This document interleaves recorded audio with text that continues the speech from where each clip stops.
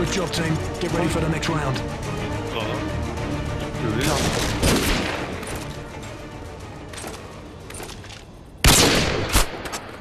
สองไม้เจ้า